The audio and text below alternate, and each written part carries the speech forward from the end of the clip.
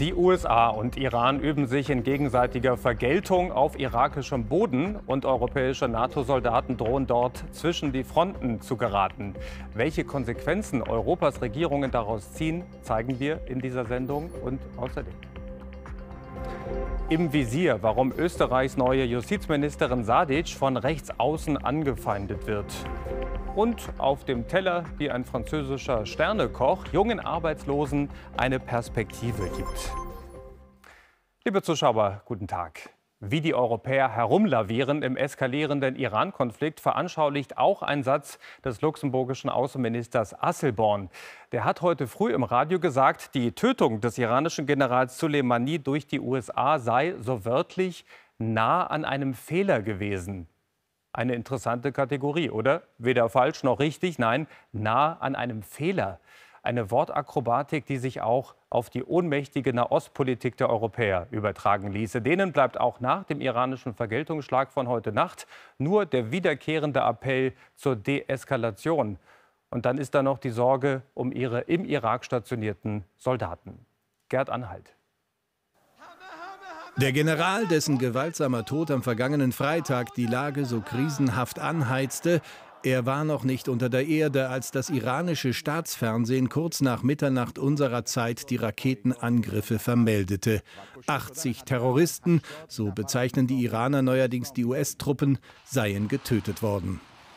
Außerdem hätten die Boden-Boden-Raketen erheblichen Schaden an amerikanischem Kriegsgerät angerichtet.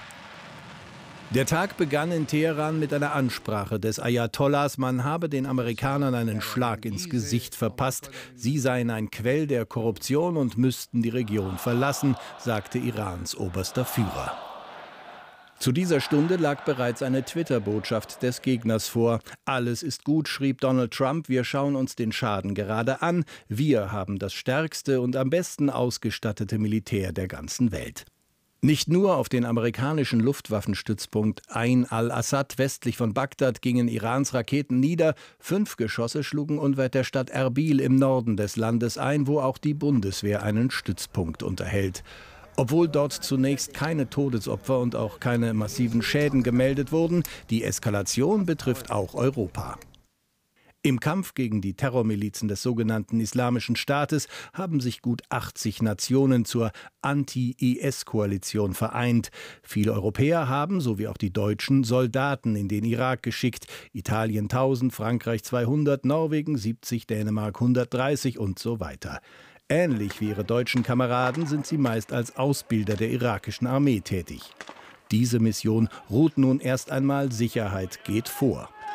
So sind die Europäer zwar präsent in der Gefahrenzone, aber ohne Einfluss auf das Vorgehen der einen oder der anderen Seite. Die neue Kommissionspräsidentin von der Leyen musste in ihrer ersten schweren Krise erkennen, Europa bleibt wie so oft nur der Appell. Nicht nur die Region ist betroffen, sagte sie in Brüssel, sondern wir alle. Der Waffengebrauch muss aufhören, um Raum für Dialog zu schaffen. Aber der Raum für Dialog wird am Persischen Golf mit jedem Tag kleiner. Ja, der Raum für Dialog wird kleiner und das Kontingent der im Irak stationierten Soldaten aus europäischen Ländern ebenso. Stefan Leifert in Brüssel. Nur vorübergehend werde die Ausbildungsmission gestoppt, betont die NATO heute. Aber glaubt man wirklich noch daran, äh, dass sie in so naher Zukunft äh, wieder aufgenommen wird? In naher Zukunft vielleicht nicht unbedingt, aber in mittlerer Zukunft schon. Es gibt kein europäisches äh, Land im Moment, was die Anti-IS-Koalition grundsätzlich in Frage stellt. Man äh, darf nicht vergessen, dass diese Anti-IS-Koalition ist mehr als eine rein militärische Angelegenheit. Es ist auch eine diplomatische Plattform, in der sich, wir haben es im Beitrag gehört, gut 80 Nationen zusammengeschlossen haben, von den Amerikanern über die Europäer bis hin zu vielen arabischen Ländern. Und äh, allein diese Tatsache, dass es hier eine Plattform gibt, auf der Dialog und Gespräch zwischen all diesen Ländern stattfinden kann, das wird man in dieser krisenhaften Situation nicht einfach hin aufgeben. Deswegen ist das, was wir im Moment erleben, nur ein ein Teilabzug. Nehmen wir das Beispiel NATO. Die NATO hat 500 Kräfte im Land. Die Hälfte davon ist jetzt erstmal außer Landes gebracht worden, nach Jordanien und nach Kuwait. Die andere Hälfte hat erstmal nur Bagdad verlassen, befindet sich jetzt in anderen Regionen des Irak. Aber all diese Kräfte sollen zurückkehren, sobald die Sicherheitslage das erlaubt. Sprechen wir mal über Europas Einfluss im gegenwärtigen Konflikt zwischen den USA und Iran. Ähm, übermorgen kommen ja die EU-Außenminister zusammen. Wird denn schon so etwas wie eine ja, gemeinsame diplomatische Strategie erkennbar? Strategie ist vielleicht als Begriff etwas zu hochtrabend. Das überschätzt, glaube ich, die Rolle der Europäer in diesem Konflikt. Aber das Ziel des Treffens am Freitag äh, ist ein doppeltes. Zum einen will die Europäische Union Geschlossenheit demonstrieren, allerdings Geschlossenheit hinter einer nicht besonders starken Position. Die beschränkt sich auf Appelle und äh, Aufrufe zur Deeskalation. Man will jetzt alle äh, Gesprächskanäle zusammentragen, die die Europäische Union vor allem in Richtung Iran hat, um zur Deeskalation aufzurufen. Und das zweite Ziel ist, den Iranern klarzumachen, dass die Europäer unbedingtes Interesse daran haben, den Atomdeal aufrechtzuerhalten. Der ist zwar im Moment de facto tot, weil er ohne die Amerikaner und ohne das mhm. Aufheben der amerikanischen Sanktionen wenig Sinn macht, aber die Europäer wollen die Iraner irgendwie bei Laune halten. Am Freitag kommt es dann zum Schwur beim Sondertreffen der EU-Außenminister. Stefan, danke nach Brüssel. Ja, und zum iranischen Vergeltungsschlag und den möglichen Folgen sendet das ZDF heute Abend auch ein Spezial und fragt Krieg im Nahen Osten um 19.20 Uhr. Wer daran zweifelt, dass Politik noch positiv überraschen kann, dem sei der Blick nach Österreich empfohlen, ohne die neue Regierung vor dem Abend loben zu wollen. Man muss den ungleichen Partnern zugestehen, sie haben das unmöglich Geglaubte möglich gemacht. Konservativ und grün an einem Kabinettstisch, der zudem weiblicher besetzt ist als je zuvor. Unter anderem mit einer Ministerin, die in Bosnien geboren wurde. Die 33-jährige Alma Sadic führt seit gestern das Justizressort was die ganz Rechten innerhalb wie außerhalb des Parlaments zu neuen Entgleisungen verleitet. Britta Hilpert. Es ist ein historischer Moment für Alma Sadic ganz persönlich, aber auch für ihr Land, Österreich. Mit diesem Handschlag des Bundespräsidenten ist sie die erste Justizministerin mit Migrationshintergrund, die jüngste je noch dazu. In Sebastian Kurz Kabinett setzt die Wirtschaftsanwältin mit bosnischen Wurzeln damit einen neuen Ton. Es ist ein wunderschönes Zeichen. Ich glaube auch, äh, steht auch symbolisch für ganz viele Österreicherinnen und Österreicher, die in Österreich leben, für die das auch natürlich eine große Bedeutung hat, die ähm, auch sehen können, was eines, was alles möglich ist, auch in Österreich. Als zehnjähriges Flüchtlingskind kam sie aus Bosnien, studierte hier Jura und wurde 2017 ins Parlament gewählt. Immer engagiert sie sich stark für Frauen und fordert keine Toleranz für Neonazis und Faschisten, auch unter diesem Twitter-Foto. Der Mann klagte dagegen, er habe nur Bekannten zugewinkt. Erstinstanzlich bekam er Recht. Sadic schlägte Berufung ein, doch da ist der Shitstorm schon passiert. Eine kriminelle Muslime als Justizministerin fragt einer, obwohl das Verfahren nicht abgeschlossen und sie keiner Religion angehört. Es gibt sehr viele Hassnachrichten, bis manchmal auch sogar Morddrohungen. Aber man darf sie nicht unterkriegen lassen. Es, sind ganz viel, es ist ganz viel Unterstützung auch da. So viel, dass es sie auch überrascht. Als der Grüne Parteitag die Koalition absegnen sollte, war der Beifall so groß, dass es sie zu Tränen rührte. Die grüne Basis erwartet aber auch viel von ihr. Im Koalitionsvertrag steht einiges, das ihr widerstrebt, wie Sicherungshaft für Asylbewerber. Sie soll garantieren, dass es verfassungskonform passiert. Schwieriges Thema. Ihre Mediationserfahrung als Anwältin kann dabei helfen. Natürlich nimmt man da einiges mit. Man hat einiges in der Verhandlungserfahrung und es macht einen Unterschied, ob man versucht, irgendwie zu schauen, wo sind die Interessen, wer braucht was, wo kann man sich gemeinsam finden. Der Glanz der alten K&K-Monarchie umgibt die Amtseinführung der jungen Ministerin Sadic. Mit dem Ministeriumsschlüssel kommt viel Arbeit. Die Justiz in Österreich ist chronisch unterfinanziert. Und der Finanzminister ist von der anderen, der Kurzpartei.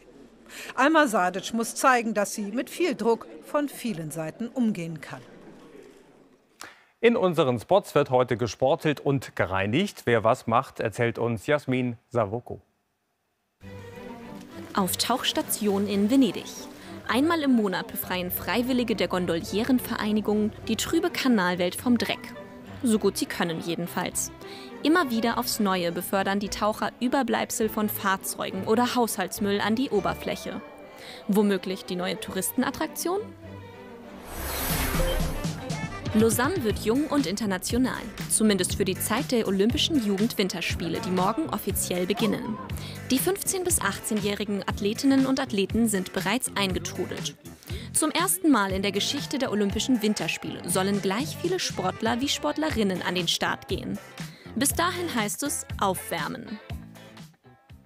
Ja, Sport, äh, sprich ausgiebige Bewegung, ist ja das A und O, wenn Mann oder Frau Gewicht verlieren will. Gerade jetzt nach den üppigen Feiertagen eine Herausforderung, der sich viele mehr oder weniger erfolgreich stellen. Wer aber Erfolg haben will beim Abnehmen, muss sich auch richtig ernähren. Und jetzt kommt dieser Mann hier ins Spiel. Er heißt Thierry Marx, ist anders als sein Nachname vermuten lässt Franzose und betreibt neben Sternerestaurants auch Kochschulen. Marx geht es nämlich nicht nur um gesunde Ernährung, ihm geht es auch um eine gesunde Perspektive für junge Menschen, die sonst keine hätten. Konzentration für den letzten Schliff. Bis der Nachtisch so aussieht, hat Malik Sall ganz schön geschwitzt. Mangocreme, keine leichte Kost. Das, das geht direkt auf die Hüften. Das Besondere in dieser Kochschule, hier kann sich jeder bewerben, egal was er vorher gemacht hat. Vom Schulabbrecher zum Sternekoch. Die Azubis in dieser Küche waren arbeitslos, Mathelehrer, Kellnerin oder Gabelstaplerfahrer wie Malik Sall. Ich habe in einem Transportunternehmen gearbeitet, aber das hat mich nicht ausgefüllt. Ich wollte wechseln und mir etwas suchen, das Spaß macht. Für die Azubis ist die Ausbildung kostenlos. Ob beruflicher Neustart, ob vorbestraft oder langzeitarbeitslos, bei der Bewerbung zählt nur die Motivation. Dem Gründer der Schule ist das besonders wichtig, Thierry Marx. Der Sternekoch eröffnet im Frühjahr ein weiteres Restaurant auf dem Eiffelturm. Er hat sich hochgekocht und seine Wurzeln nicht vergessen. Ich stamme selbst aus einem dieser Viertel, die heute sensibel genannt werden, aus eher ärmlichen Verhältnissen. Die Schule habe ich früh abgebrochen und hatte es danach schwer. Und genau deswegen will ich jetzt denen helfen, denen es ähnlich geht. 14 Kochschulen gibt es inzwischen, vor allem in Vorstädten mit hoher Arbeitslosigkeit und schlechter Verkehrsanbindung. Hier in Clichy-sous-Bois will auch Salimata Dabo die Chance nutzen. Sie hat zwei kleine Kinder und jobbte bisher als Kellnerin. Ich wollte etwas Neues lernen, möglichst schnell, ohne nochmal bei Null anzufangen. Diese Ausbildung hier ist kurz und effizient. Drei Monate und praxisnah. Das ist ungewöhnlich in Frankreich.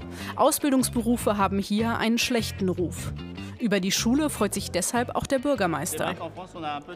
In Frankreich neigen wir dazu, die handwerklichen Berufe herabzustufen. Dabei müssten wir sie viel mehr wertschätzen und klar machen, dass verschiedene Wege zum Erfolg führen, nicht nur die Universität. Darauf hoffen auch die Azubis. In der Branche fehlen Fachkräfte und mit dem Zertifikat der Kochschule finden laut Thierry Marx 95 Prozent einen Job. Malik Sall träumt davon, dann irgendwann ein eigenes Restaurant zu eröffnen. Der Traum vom weißen Winter, der bleibt auch morgen unerfüllt. Im Norden und in der Mitte verbreitet Regen. Vom Schwarzwald bis zum Bayerischen Wald bleibt es trocken. An den Alpen wird sogar freundlich. Und das Ganze bei 6 bis 14 Grad. Und damit geben wir ab nach Rosenheim zu den gleichnamigen Cops. Europa morgen wieder. Bis dahin und tschüss.